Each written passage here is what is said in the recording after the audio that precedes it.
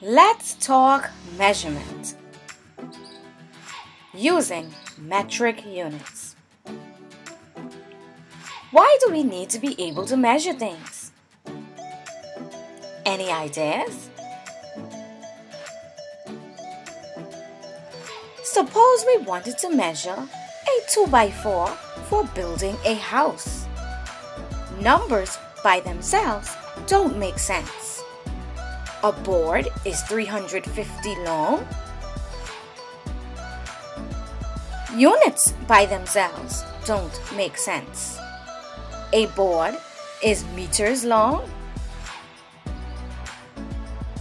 To make sense, all measurements need both a number and a unit. Let's look at some basic types of measurement. Length. This measures distance between objects. Mass. This measures the amount of matter in an object. Capacity. This measures the amount a container can hold. Volume. This measures the amount of space something takes up. But there are other types of measurement. Some other types of measurement include time, temperature, density, and pH. All measurement systems have standards. The standard metric unit for length is meter. The standard metric unit for mass is gram. The standard metric unit for capacity is liter. The standard metric unit for temperature is Celsius.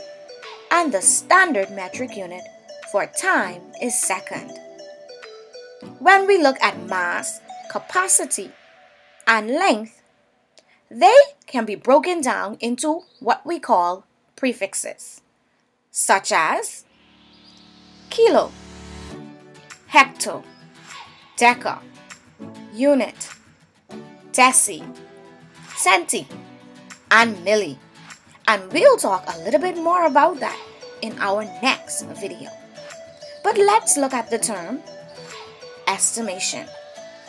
Estimation is using your knowledge of something similar in size or amount to determine the size of the new object. Estimation helps to make a rough measurement of an object. Usefully, when you are in a hurry and exact numbers are not required. Let's look at the metric unit length. Length is the distance between two points. It does not matter if it's width, height, depth, or etc. All are length measurements. The basic unit of length in the SI system or metric system is the meter. The meter is about 3 feet. A ruler is used to measure length. Let's look at some meter units. The millimeter and centimeter. They're very small, aren't they? The meter, it's about the size of a chair kilometer.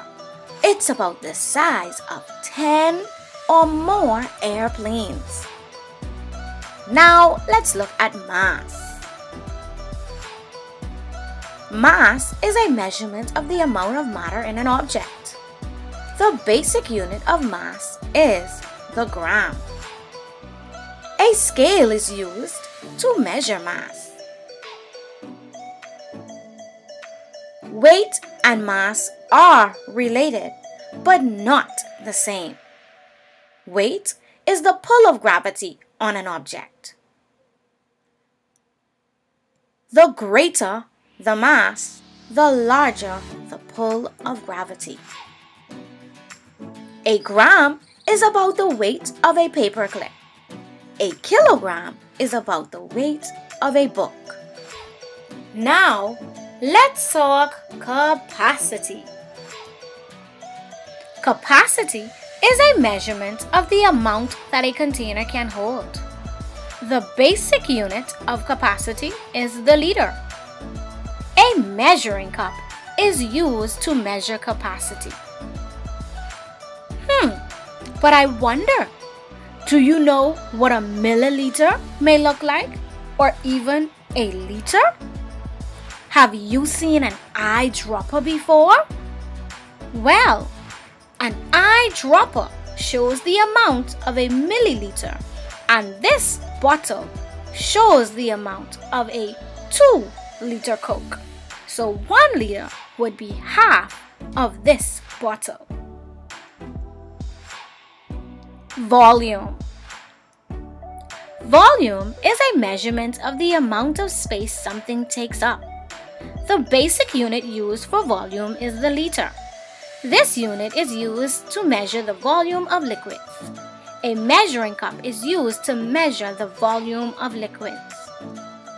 Volumes of solid are figured using this formula. Length times width times height. This is written in cubic units. Temperature.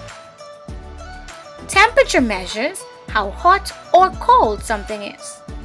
Temperature is measured with a thermometer and measured in Celsius or Fahrenheit.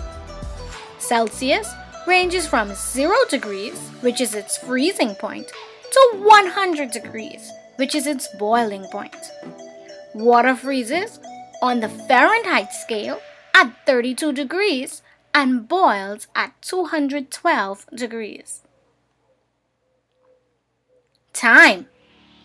Time measures how long it takes to complete a task. Time is measured using a clock. Time ranges from units as small as seconds to units as large as years. Let's do a quick review. Measurements need a number and a unit.